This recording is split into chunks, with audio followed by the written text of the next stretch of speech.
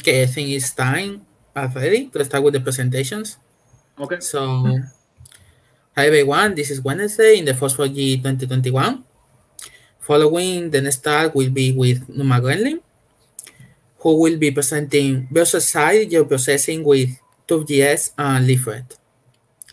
It's not half past, but I guess that it should be okay to start already. So, it's a yours. Okay, so I'll start. Well, first of all, thank you for attending my presentation. Um, it's about browser-side geoprocessing with TurfJS. And I put leaflets into parentheses because I initially submitted this as a workshop, but it was, I think, misunderstood and it was accepted as a normal talk. And the workshop would have been a focus on leaflets, but really turf is not necessarily about leaflets. So basically, we can also talk about open layers or anything else. So if you're into leaflet, it's going to be a good talk for you. But if you do something else, that's going to be fine too. Okay, so let's get started. First, um, where's my mouse here? Okay. So first of all, a brief overview of geoprocessing in the web, uh, how it's been done, let's say historically, or maybe still done, but not necessarily, not necessarily always um, the best option, maybe. Which a lot of times the thing that's used is called WPS, the Web Processing Service. Uh, it's an OGC standard, which it's a standard, it's well established, um, it's documented. But the thing with it is it requires a couple things, such as a server-side infrastructure. So you need a server, first of all. Uh, you need requests, obviously. That means you need to be connected to the internet. Actually, that's my last point here. And so basically, just if you're not really into web mapping or how all this stuff works, so basically, you have a person that could be you or me, and we're using a website, um, a web map, and we want to, um, let's say, create a buffer. So we set a point on the map, maybe at, at a distance, and then we say calculate.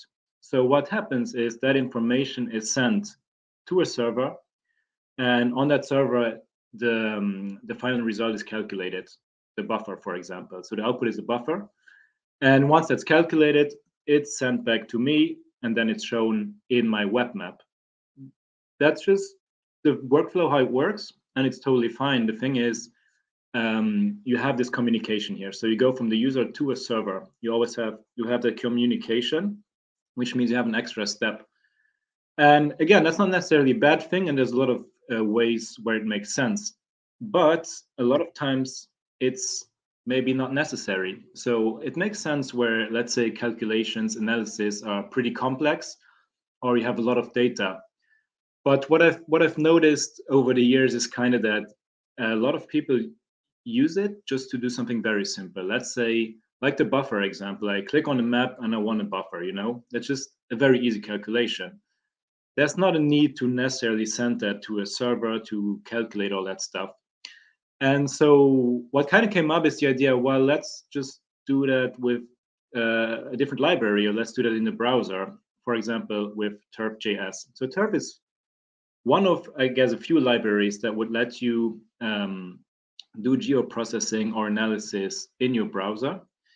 And yeah, so let's get to turf. Let's talk about it a little bit, and I'll show some examples and how it's used. And if you don't know it yet, and you need to do some simple analysis, or maybe, maybe even more complex sometimes, uh, look into it. It's it's a really cool library, and it's I use it a lot at work just for different things. It's always there's always something popping up where I'm like, okay, turf would be a good idea now. So I really like it. So I also like to present it. Um, so what is turf?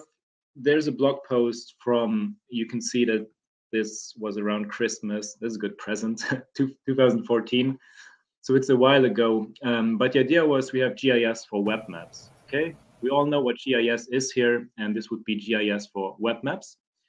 Um, you can read that blog post but you could also listen to my talk and i'll give you a brief introduction. And the point here is that turf uses JavaScript. It's a JavaScript library. Okay, so you're into programming, you know JavaScript, you have a bunch of libraries, and Turf is one of them. And the really interesting and important point again is this JavaScript component. Why is that so important? Because for a few reasons. Um, first of all, it runs in your browser. So all you need is a browser. I was talking about the server side infrastructure where you send something, get something back. That part is just omitted from all of this. So basically, you have your browser and you stay in your browser the whole time. Um, so you don't need that server side infrastructure, which that's the thing. If you're in a big company and you have um, server administrators and people who just do that stuff, it's not a big deal. But if you maybe a lot of open source people just say they develop some cool things and maybe they don't have the knowledge of every single part and they don't necessarily always have the help the people who help them do that you know so for simple things well you don't need that server side infrastructure again.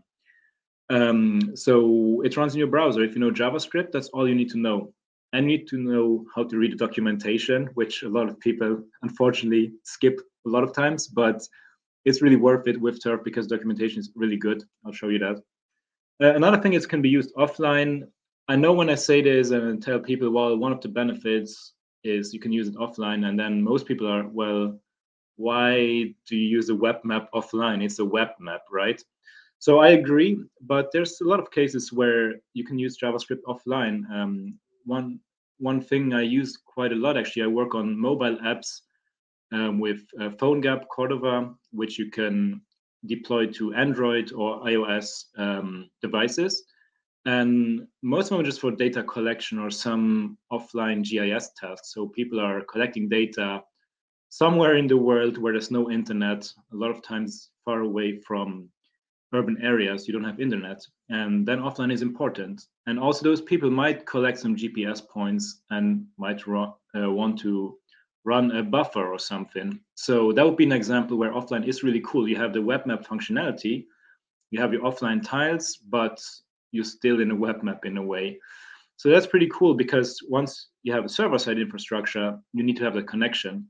Once you're offline, you can't send the info that you want to run a buffer, for example.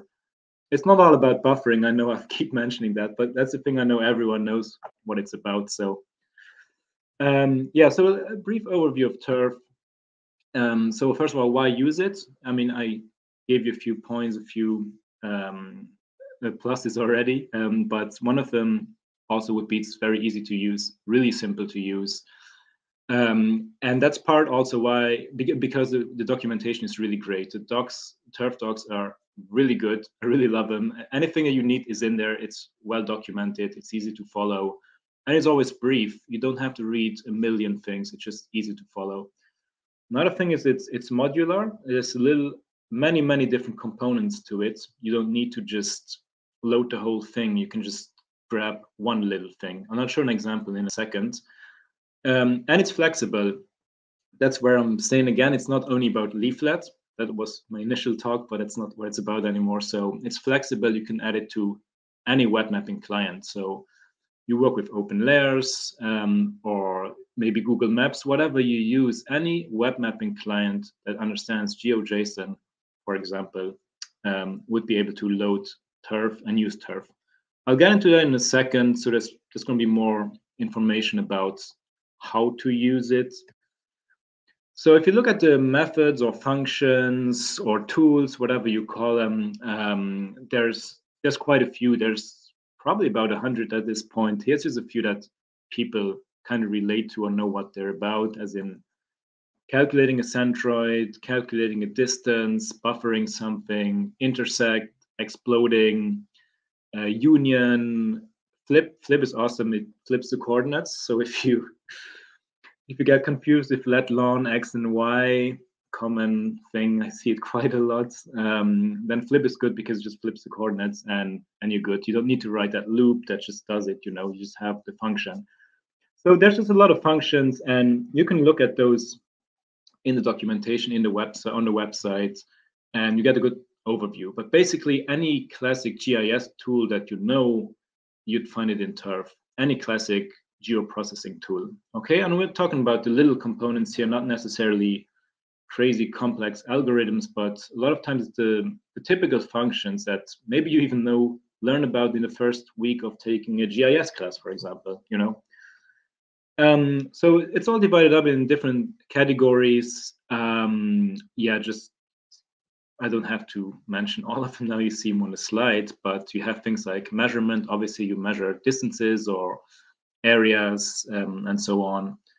Um, you have data functions for generating random data. Um, what else? Classification. You can create grids. Uh, transformation, also a very important thing in GIS. Uh, feature conversion, and so on. So there's different categories with all of them have quite a few functions mostly, and you can use them for different things. Another thing that I really enjoy is the Boolean stuff. It just gives you true or false answers for the things you do. So you could say something like, is that point in a polygon? And it gives you a true. That's another thing that's it's very, very simple, but it can be very, very convenient, especially if you don't have to write all that code all the time. Um, so how do you get started? an important thing to know is you don't need API keys or anything. You might see examples that load some API or some client that needs a key, but Turf's by itself is just pure JavaScript, no connection to anything. So you download it, you include it, and you get started. Um, how do you add it to your library, to your application? Well, either you can download the whole thing as a JavaScript file. That'd be just the classic way to add it but the more modern, more flexible way would be NPM. And the cool thing about this is, as I said, it's a modular um, library. So you can just get get one little piece that you need. And here's a, just an image of the documentation, just one of many, many functions. And if you look at the docs here, I just circled this, you can see the npm npm command. So basically, you just go to documentation, you see how to get that into your application. So you just type that into your terminal and then you install that module. And the good thing is it also de uh, installs the dependencies. So a lot of times you need way more than just the thing you actually want to install, but then it takes care of that. And that's I think that's really awesome because if you don't you don't want to overload your application with everything if all you need is calculating a distance or something very simple, you know. So that's a good thing to mention. So I'd recommend looking at it that way. You need something, you add it, and anything else you just skip. So another question that I I get a lot of that also confused myself at at first. I mean, I've been using it for a few years, but at first I thought it was um, a Mapbox, uh, just a Mapbox JS thing.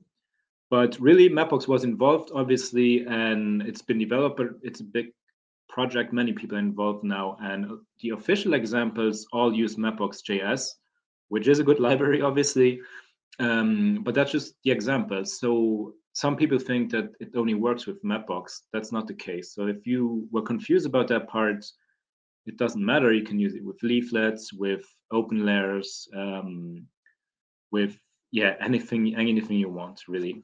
Um, and the good thing, yeah, I added to my slide because I I think it's important to mention is you can actually use it with no web map at all. So if you want to do um, just some calculation, some generation of some data or something, you can use it. You don't need that map.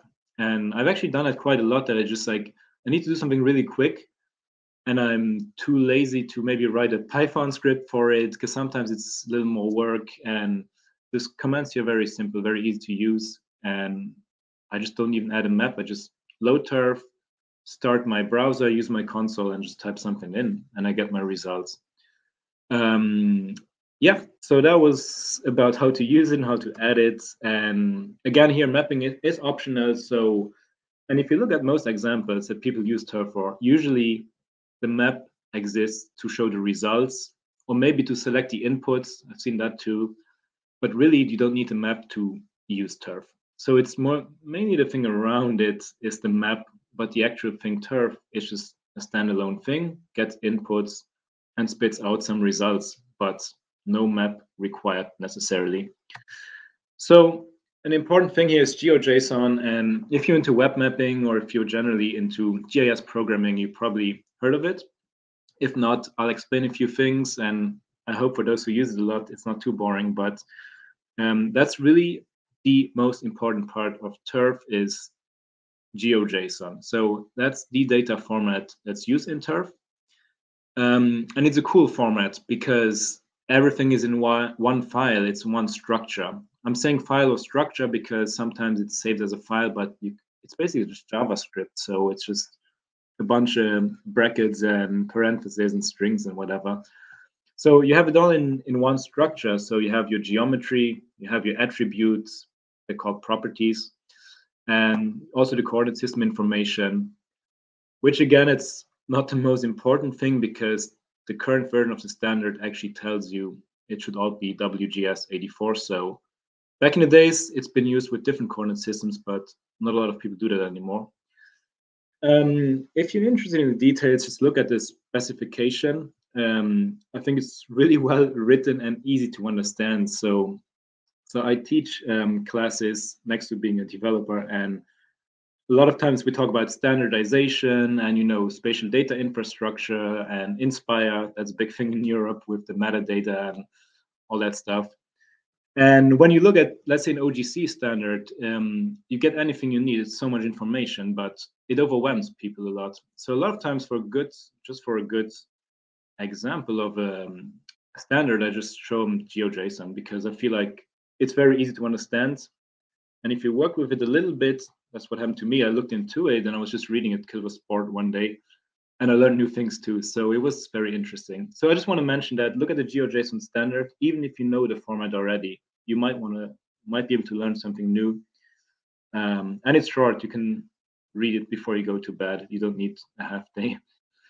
Um, so basically, what it looks like is, yeah, as I said, a bunch of curly braces and arrays, and you have your um, your floats, your numbers, and your strings.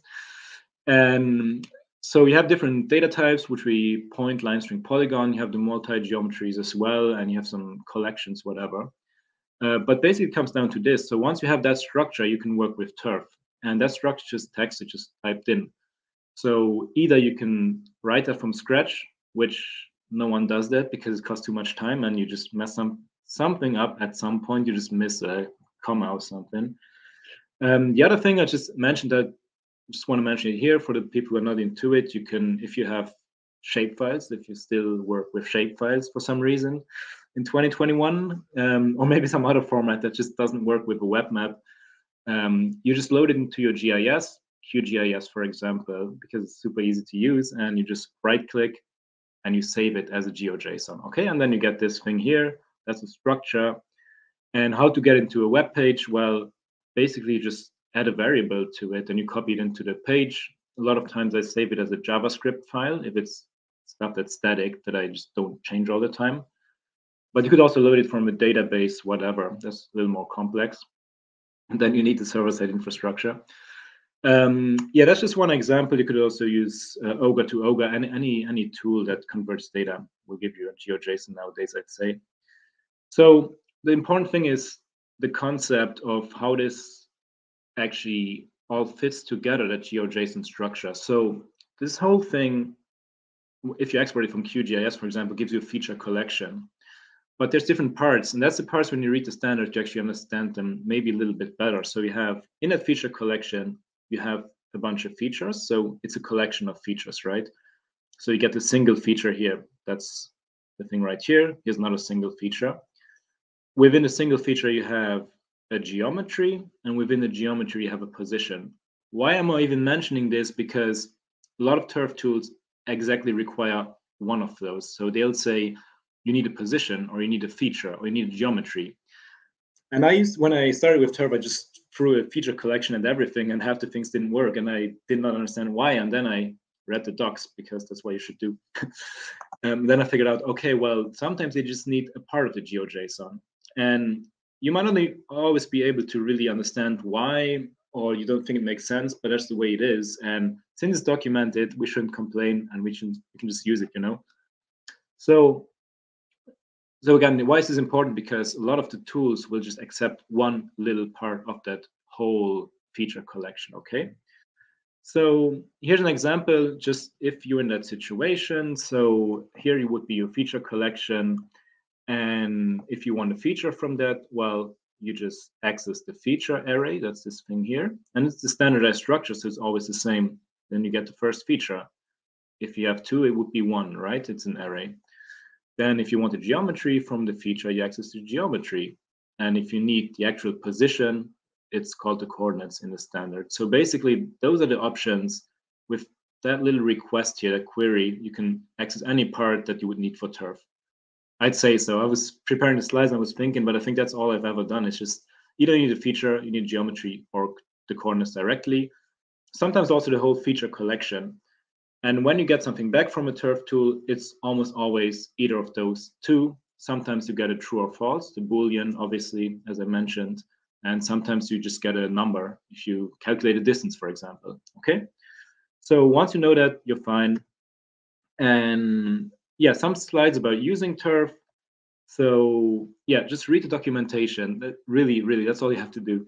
Um, anything's been described really well. And I just took a bunch, uh, a couple images here just so you can kind of um, see what it looks like. So here's, a, for example, the buffer. You see it's short text, not much to read, and then you see the parameters, and then you see some optional stuff, which would be the curly braces, and then you also see that what it returns. So most of the time, here's the important part: feature collection, geometry, feature. You see what it accepts, either of those, but sometimes just one. Then you see what it returns. Okay. And I see I need to be finishing soon, so let's speed up a little bit. Here's another tool, again, same concept. This time you need a feature as an input and returns a number. So that's what I'm, the only thing you have to watch out for is what does it need the tool, what does it spit out? Once you understand that concept, it's easy to use. Boolean would be, it gives you true or false. And here, some examples, you see how easy it is. Here's an example of uh, union. So we just add one feature, a second feature, and we get a union of both, right? And returns a feature. Turf explode, polygon, you add a feature, again, a feature, not a feature collection of a polygon, you get a bunch of points.